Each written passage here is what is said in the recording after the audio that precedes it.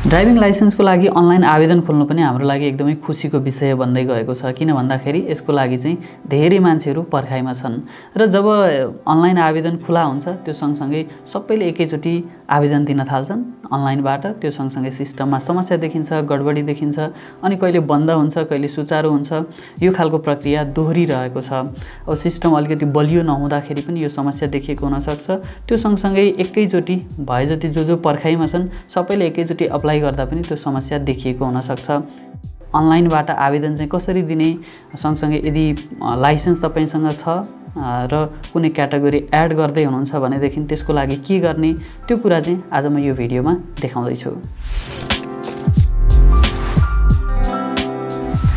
यसको लागि चाहिँ सबभन्दा पहिला हामी DOTM dot gov dot NP भन्ने वेबसाइट जुन यातायात व्यवस्था विभागको छ त्यसमा गइसकेपछि चाहिँ दायाँ साइडमा महत्त्वपूर्ण लिङ्कहरू भनेर दिएको छ जसको सुरुमै चाहिँ अनलाइन सवारी चालक अनुमति पत्र प्रणाली भनेर अप्सन छ। त्यहाँ हामीले क्लिक गरेपछि नयाँ एउटा पेज खोल्छ अनलाइन ड्राइभिङ लाइसेन्स रजिस्ट्रेसन भनेर हाइलाइट गरिएको छ। अब हामीले लाइसेन्सको लागि रजिस्ट्रेसन गर्दैछौँ फर्म भर्दैछौँ भनेदेखि चाहिँ यहाँ क्लिक गर्नु पऱ्यो यसमा क्लिक गर्ने बित्तिकै चाहिँ यहाँ चेक एप्लिकेन्ट स्ट्याटस भनेर देखिन सक्छ। भनेको मतलब चाहिँ तपाईँले यदि आवेदन दिइसक्नु भएको छ भनेदेखि चाहिँ यहाँबाट हामीले चेक गर्न सक्छौँ। नयाँ तपाईँले रजिस्ट्रेसन गर्नको लागि चाहिँ यता माथिपट्टि साइडमा बायाँ साइडमा चाहिँ अनलाइन रजिस्ट्रेसन भनेर दिएको छ। त्यहाँ क्लिक गर्नुभयो भने अब यहाँ चाहिँ सिटिजनसिप अनि त्यस्तै गरी सेलेक्ट एप्लाई फर भनेर दिएको छ। जसमा चाहिँ हामीले अब नयाँ यदि लाइसेन्सको लागि तपाईँले फर्म भर्दै हुनुहुन्छ भने सुरुमै छ न्यू लाइसेन्स यसलाई सेलेक्ट पऱ्यो यदि क्याटेगोरी एड गर्दै हुनुहुन्छ भने एड क्याटेगोरीमा जानु पऱ्यो लाइसेन्स रिन्यू गर्दै हुनुहुन्छ भने लाइसेन्स रिन्युअलमा जानु पऱ्यो अनि त्यस्तै गरी लाइसेन्स हराएको छ र अर्को कपीवाला लाइसेन्स लिनु पऱ्यो भने चाहिँ डुप्लिकेट लाइसेन्समा सेलेक्ट गर्नु पऱ्यो अहिले चाहिँ म नयाँ लाइसेन्सको लागि यो फर्म भर्दैछु। यो चाहिँ मेरोभन्दा पनि मेरो साथीको लागि भर्न लागिरहेको हो। न्यू लाइसेन्समा क्लिक गरेर अब प्रोसिडमा थिच्ने बित्तिकै अब यस्तो यहाँ फर्म देखिन्छ। अब यो डिटेलहरू म सम्पूर्ण भरिसक्छु अनि त्यस पछाडि के हुन्छ त्यो देखाउँछु।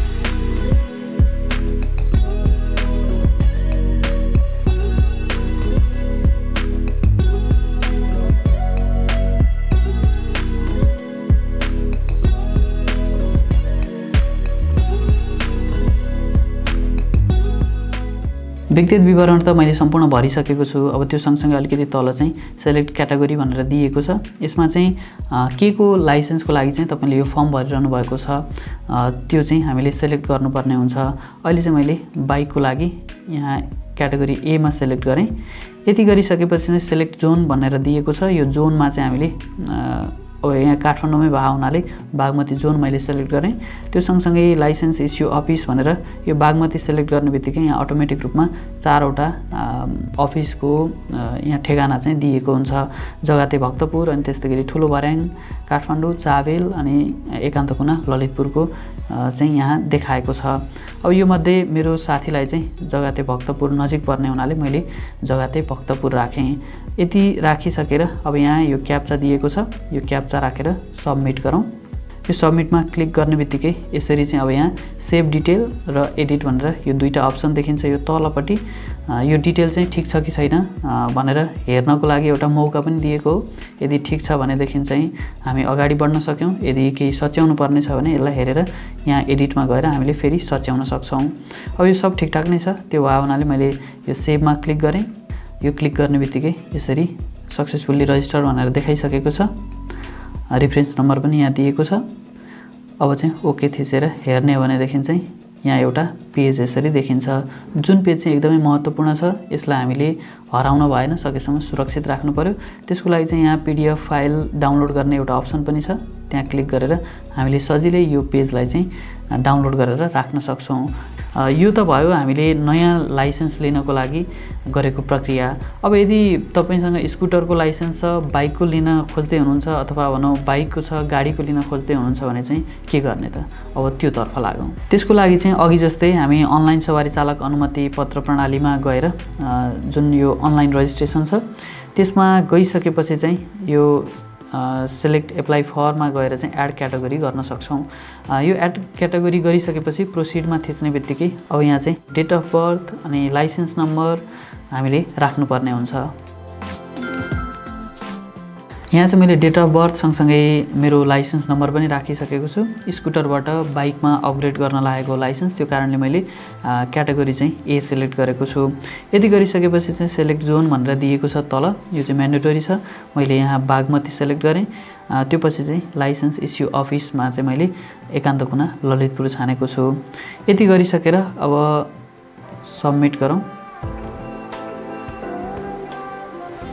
मेरो लागि चाहिँ application save successfully reference number भनेर यहाँ रेफरेन्स नम्बर पनि दिएको छ। अब यसलाई मैले ओके गरेँ। ओके गर्ने बित्तिकै यो एप्लिकेसन इज सक्सेसफुल्ली रजिस्टर्ड भनेर देखाएको छ। रिफरेन्स नम्बर अनि सँगसँगै मेरो नाम डिटेल जति पनि छ त्यो सम्पूर्ण कुराहरू चाहिँ पुरानो लाइसेन्सबाट यसमा तानिएको छ। मेरो सबै डिटेलहरू चाहिँ यहाँ देखा देखाएको छ। सँगसँगै चाहिँ date of visit to zonal office भनेर चाहिँ बाइस जुन दुई हजार बाइसको लागि चाहिँ समय दिएको छ भनेको मतलब लगभग लगभग सात आठ महिना पछाडिको लागि चाहिँ यो समय दिएको छ। यो रजिस्ट्रेसन डिटेल्स जुन देखिएको छ यसलाई चाहिँ हामीले डाउनलोड गरेर प्रिन्ट गरेर हामी जुन बेलामा यो जोनल अफिस भिजिट गर्न जान्छौँ यो बायोमेट्रिकको लागि त्यो समयमा चाहिँ यो लिएर जानुपर्ने हुन्छ। त्यसैले यसलाई चाहिँ सुरक्षित राख्दाखेरि राम्रो हुन्छ।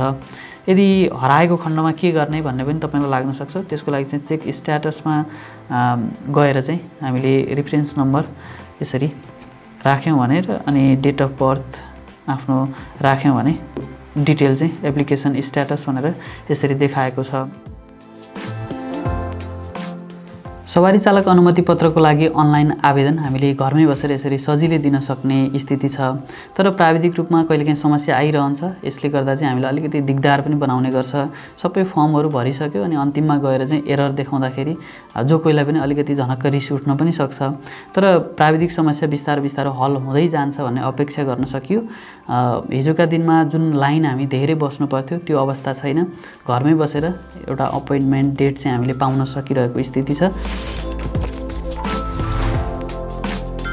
अहिले हामीले यो फर्म भरेर जुन डेट पाएका छौँ त्यो डेटमा चाहिँ हामी गएर आफ्नो बायोमेट्रिक दिने हो। त्यो पछाडि मात्रै हाम्रो लिखित परीक्षा अनि सँगसँगै ट्रायलको मिति चाहिँ तय हुन्छ। यो भिडियो यति नै। अर्को भिडियोमा तपाईँ हाम्रो भेट हुने नै छ। म हरिजन थापा बिदा हुन्छु। नमस्कार।